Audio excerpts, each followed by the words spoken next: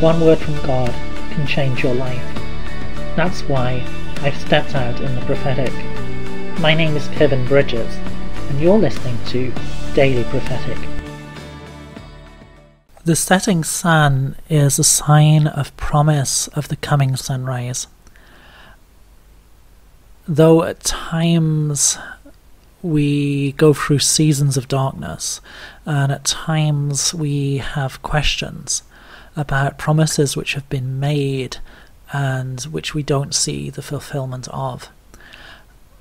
The Lord is saying that when He promises something, it will come to be, even though at times there are night times in between, even though at times there are seasons of darkness or seasons of, of waiting, but that the first promise, the, the sunset in, in a sense, is is a sign of what will come and that we need to take by faith the promises which he has given us. And even though we don't see the re- realization of those things sometimes for a while, it's not that they won't be. It's just that there's this time between this this time uh, between where God is is doing many things inside of us, and just like uh, we don't fully understand why we sleep, uh, but there's a lot of things which happen inside of us as we sleep. A lot of things for rejuvenation, for uh, bringing order and balance, for solving problems in uh, in the night. There's many things which happen internally, uh, which we don't fully understand, and yet they're necessary so that we can wake up being refreshed. And in the same way, uh, even though there is a gap sometimes between the promise and the realization of the promise, uh, that gap is there for a reason, just like sleep. And it is there to enable us to better enter in to the the realization of the promise.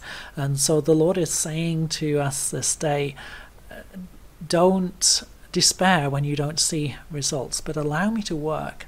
Allow me to do the things which are going on inside of you. Uh, allow me to lead you through the processes which you're you're being led through, and know that I will lead you into the point of the realization of the promise. Uh, just as surely as the sun sets, it will rise.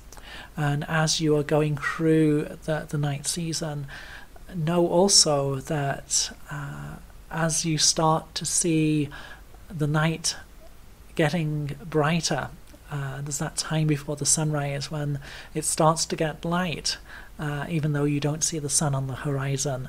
That as you start to see things getting lighter, know that it is a sure sign that the promise is about to be fulfilled. Would you like a personal prophetic word? Check out the website in the description below. Don't forget to subscribe to get your daily word of encouragement. And whilst you're here, why not have a look at some other of the videos that I've made? God bless you and have a really great day.